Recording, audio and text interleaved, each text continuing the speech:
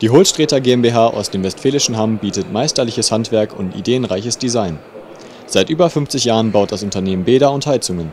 Die Geschäftsführer Horst und Wilhelm Hohlstreter leiten ein engagiertes Team und stehen mit ihrer Kompetenz den Kunden auch persönlich zur Verfügung. Sanitär, Installateur und Klempnermeister Friedhelm Hohlstreter stellt das Unternehmen vor.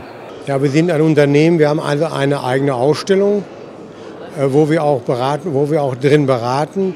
Wir haben äh, bei uns in der Ausstellung ein Behindertenbad eingerichtet, das also mit einem Rollstuhl befahren werden kann, wo alles das, was man so braucht im Badezimmer, auch genutzt werden kann.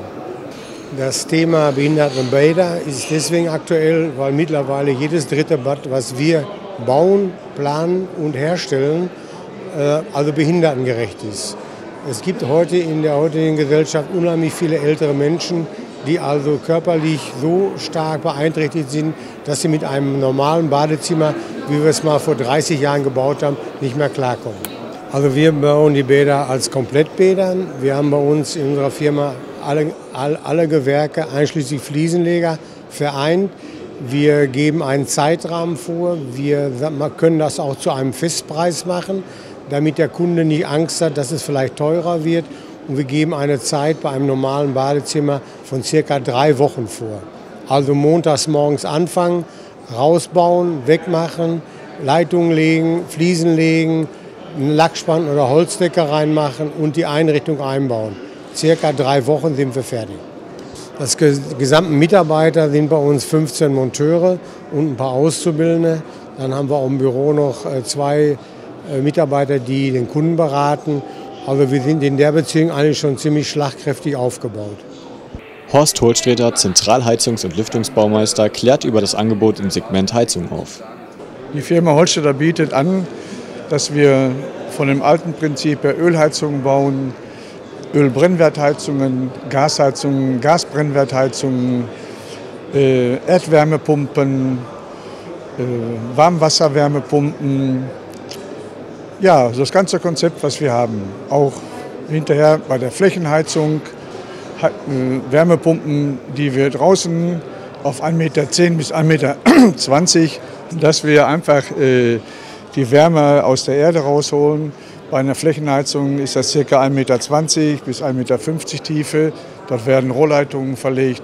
Oder man nimmt eine Wärmepumpe, da bohrt man ca. 80 bis 90 Meter Rohre in die Erde rein und holt von unten die Wärme raus. Und sonst, was wir haben, das ist unsere normale Ölbrennwertheizung. Da arbeiten wir mit namhaften Herstellern zusammen. Oder eben halt Gasbrennwertheizungen, auch mit namhaften Herstellern. Bei den Gasbrennwertheizungen arbeiten wir mit der Firma Giersch und mit der Firma Junkers zusammen, wo wir schon fast äh, die Firma Holstetter seit 60 Jahren Kontakt zu der Firma Junkers hat. Wir kommen zu Ihnen hin, besprechen das mit dem Endkunden. Der Kunde führt in sein Haus rein und wir machen ihm Vorschläge, was er dort machen könnte. Ob er eine Ölbrennwertanlage oder eine Gasbrennwertanlage äh, bekommt, das muss entschieden werden, weil wir ja nicht wissen, was im Haus jetzt vorhanden ist.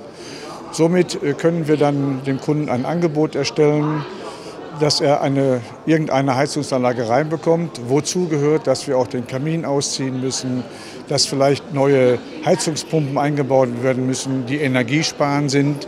Da gibt es heute Pumpen, die haben eine Energiesparung von ca. 80 Prozent vom Stromverbrauch her. Äh, dann äh, müssen wir die Heizkörperthermostatventile überprüfen, dass vielleicht neue Heizkörperthermostatventile mit Voreinstellung eingebaut werden. Das ist auch sehr energiesparend, bis ca. 15 Prozent. Aber das muss man dann vor Ort äh, auskundschaften, was man da für ein Fabrikat und was man dort einbaut. Bei einer, bei einer äh, Brennwertanlage ist egal, ob Öl oder Gas, man könnte auch dann oder man baut auch auf den Dächern Solarzellen auf. Die können Sie einmal normal nur fürs Brauchwasser nehmen oder mit Unterstützung für die Heizung.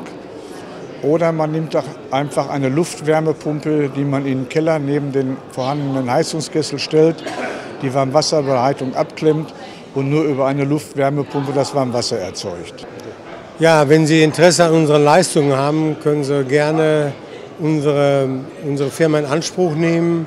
Unsere Internetadresse ist www.holzsträter.de.